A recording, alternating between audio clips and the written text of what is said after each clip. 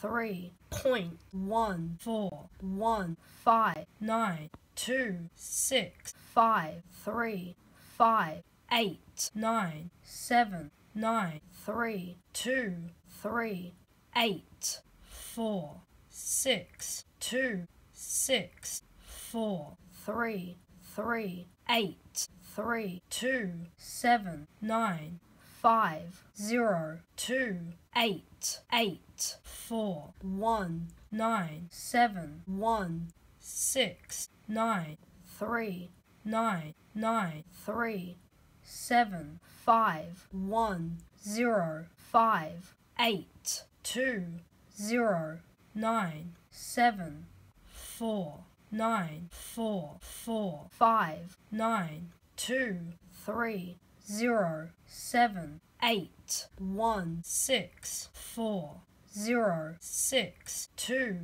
eight six two zero eight nine nine eight six two eight zero three four eight two five three four two one one seven zero six seven. That video, well, you just saw them was me on Rubik's. I hope you remember that.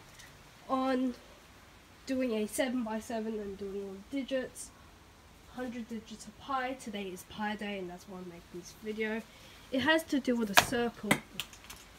Get that? It has to do with a circle. If you don't know what pi is, pi is when you take the circumference or the so if you take this and you measure this distance and then you divide it by the diameter which is right across you always get pi no matter what circle you use. And the number is the 3.14 that I that I showed on the 7x7 God I almost got the bullseye.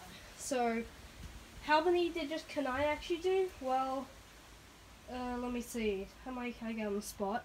Okay, I'm just going to show that I have nothing with me. Wait. Like, I don't have any sources with me. Okay, 3.1415926535897. Oh my goodness. 3, 2, 3, 8, 4, 6, 2, 6, 5, 4, 7, 8, uh, something like that.